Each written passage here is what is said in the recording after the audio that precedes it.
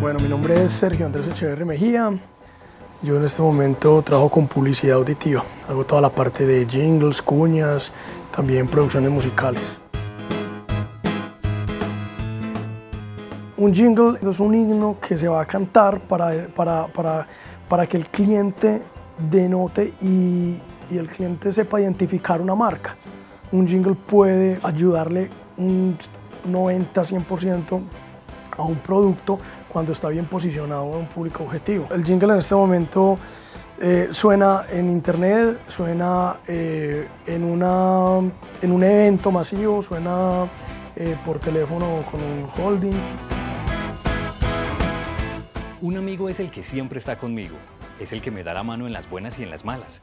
Por eso la estrella siempre será mi amigo, mi aliado. Toda música pega cuando tiene un, un, ritmo sonoro pegajoso. Entonces cuando tiene un chicle, por así llamarlo.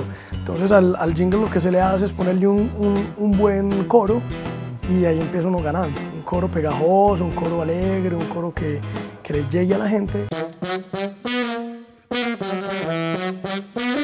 Bueno, aquí hacemos todo, o sea, aquí empezamos desde el principio hasta el final, desde la parte de la creación del jingle, desde el, desde el estudio del brief hasta la parte final ya para entregar, ya cuando el jingle queda listo para entregarse en medios. Sentamos un grupo de publicistas y de músicos, estudiamos el brief, con base al brief nos damos cuenta quién es el tipo de, qué, qué tipo de público objetivo tiene, ya con eso nos damos cuenta qué género tiene que ser y qué instrumentos va a llevar, porque hay instrumentos que dan, dan unas sensaciones distintas a otras. Todos los instrumentos le dan un, sabor distinto a la musicalización de un jingle.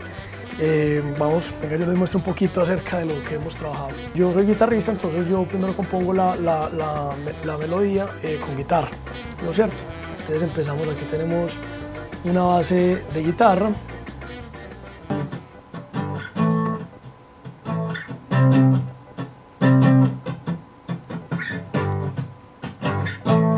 El jingle en este momento solamente ahí, hasta este punto solamente está la guitarra. Ya después cuando tenemos toda la, la, melodía y la armonía de la guitarra más o menos plasmada, ya empezamos con, la, con las baterías. Ya tenemos aquí la, la, base de la guitarra, seguimos con, el, con la batería, que es esta.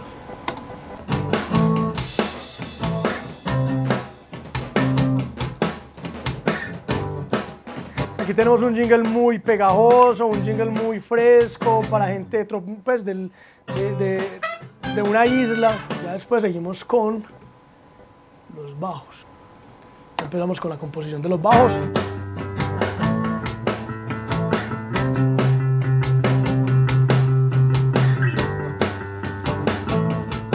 Ya después de que tenemos los bajos, podemos meter las, las trompetas. El juego de trompetas, que en este caso son estas.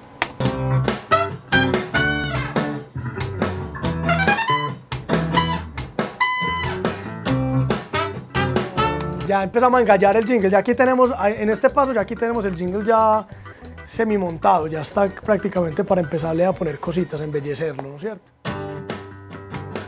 Aquí tenemos guitarra, bajo, batería y trompeta. Ya aquí empezamos a ponerle, por ejemplo, un cencerro. Eso le da vida más al jingle, mira cómo le da más sabor al jingle.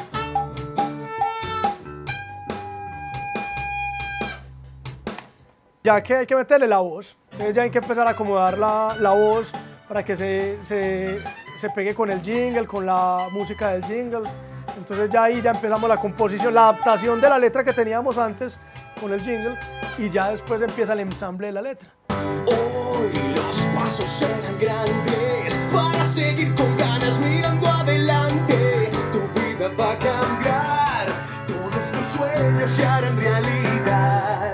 Ya antes pasamos a la etapa de la mezcla, que es pues todos estos plugins que se le pone a, al proyecto musical y ya después proseguimos con la masterización y ya se le entrega al, el, al cliente el jingle masterizado.